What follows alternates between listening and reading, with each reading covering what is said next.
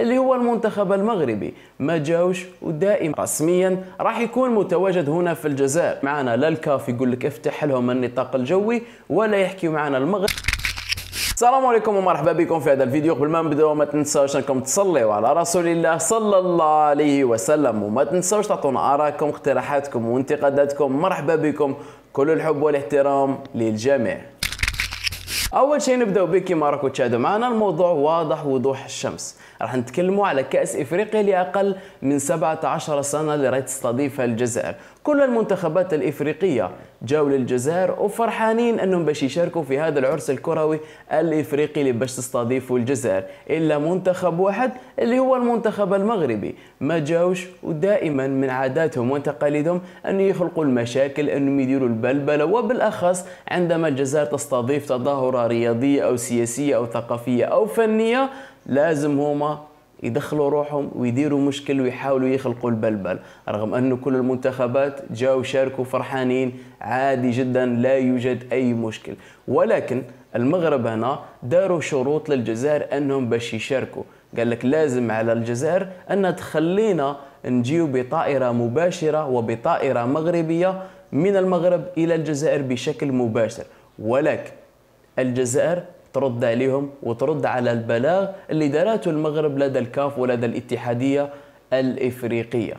كما راكم تشاهدوا معنا أنه الجزائر قالت للكاف وقالت للاتحاد الإفريقي لكرة القدم والرسالة أيضا موصولة للمغرب أنه النطاق الجوي وقضية غلق النطاق الجوي على الطائرة المغربية هو قضية سيادية لا للمساواة يعني لا نقاش فيها ولا جدال فيها. لا يحكي معنا لا الكاف يقول لك افتح لهم النطاق الجوي ولا يحكي معنا المغرب ولا غيرهم. يعني النطاق الجوي ما راحش تغلق. والقرار دارته الجزائر ويعتبر سيادة وطنية وكل بلد حر في السيادة تاعو. يغلق النطاق الجوي يغلق الحدود البرية البحرية. كل بلاد وحرة في قانونها وفي سيادتها. ولازم عليك أنك تحترم كل سيادة الدولة. هنا الجزائر وش قالت في هذا البيان؟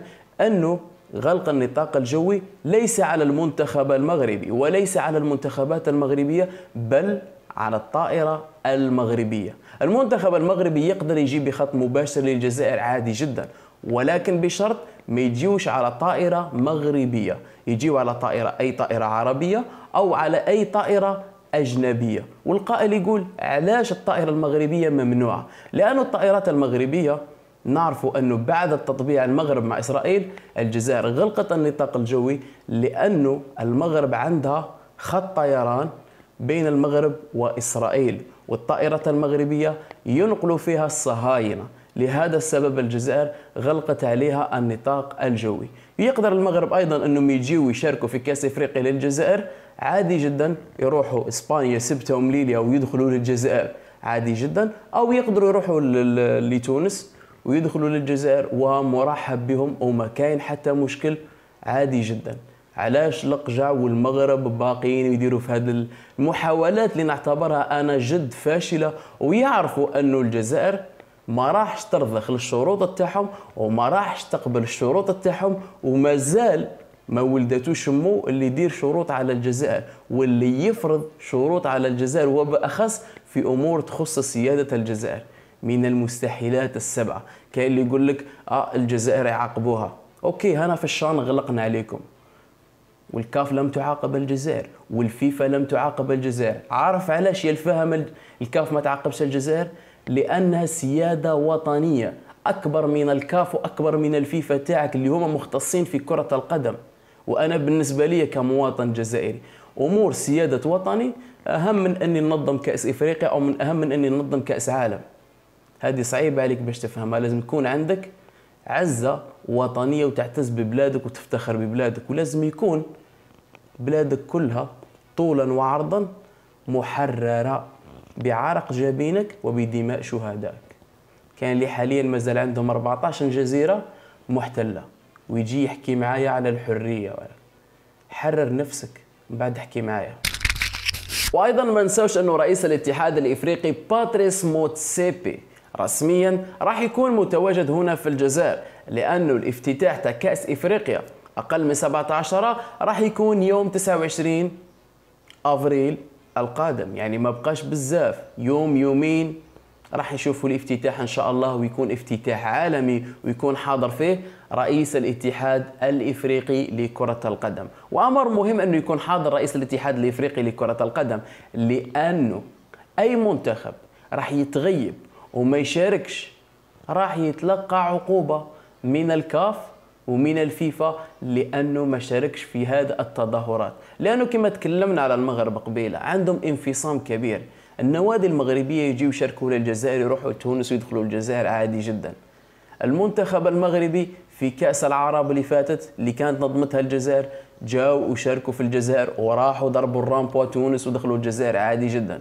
في الألعاب الأولمبية اللي نظمتها الجزائر جاوا وشاركوا عادي جدا. ولكن الآن بدأ يظهر لهم مشاكل ويديروا العراقيل لماذا؟ لأنه الجزائر بحضور باتريس موتسيبي ورئيس الفيفا وحضور ناس عالميين وكل العالم يشوف الجزائر دوراتها دائما تكون ناجحة 100% هنا هما ما يعجبهمش الحال ويحبوا يديروا مشاكل. إحنا قلناها ونعاودوها. أي واحد يحب يجي باش يشارك رياضيا مرحبا به اللين والراس أي واحد حاب يجي باش يدير مشاكل أو باش يخلق البلبله أحسن له ما يجيش خير له لأنه دخول الجزائر ليس مثل خروجها. وقبل ما نكملوا هذا الفيديو نختموه نخليكم تشوفوا معنا فيديوهات صور جميلة ورائعة جدا لاستقبال لاعبين المنتخبات الإفريقية اللي جاوا للجزائر باش يشاركوا. تشوفوا الفرحة تاعهم البهجة الاستقبال الجميل والرائع جدا. برافو على كل المسؤولين برافو على الجماهير الجزائرية وبرافو على كل الجزائريين اللي باش يساهموا إن شاء الله في نجاح هذه الدورة. وعندي تفاؤل كبير أنها راح تكون ناجحة 100% تحية الجزائر على كل حال. نخليكم تشوفوا هذه الفيديوهات وتستمتعوا بها واعطونا رأيكم في التعليق